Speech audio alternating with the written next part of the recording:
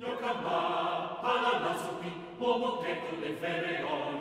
Nyokama, palalasuki, le voleros, ah, amo, amo, gitero, somme, ah.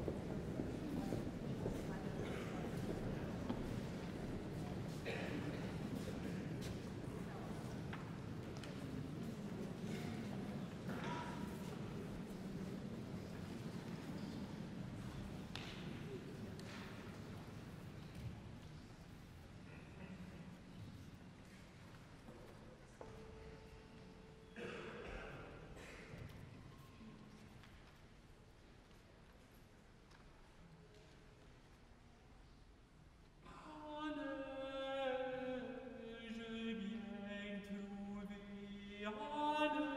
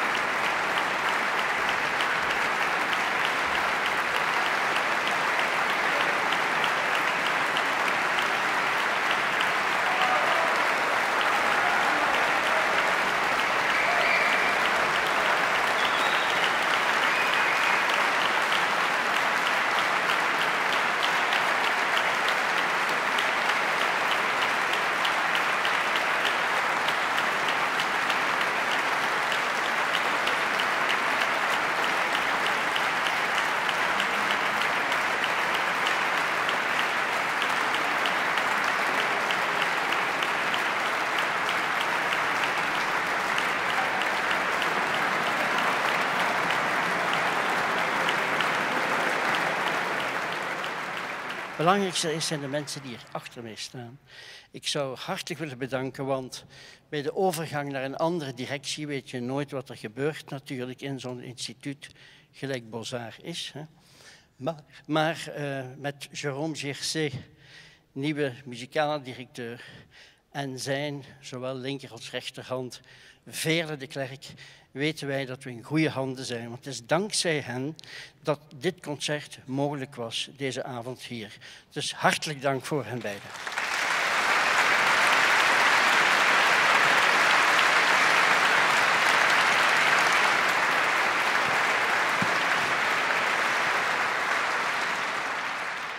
Voilà. Um, zoals u weet, het is een publiek geheim dat Paul een gepassioneerd sigarier is. Dus wij dachten, Paul, een klein doosje om jou te bedanken voor de voorbije ja, 25 jaar, want het is 25 jaar dat u hier in, uh, in bent. Ja, maar uh, geloof me, er zitten geen biks in. dus. We hopen dat je de pijp niet uitgaat met al die sigaren, want we willen je hier nog vaak over de vloer krijgen. Dank je wel.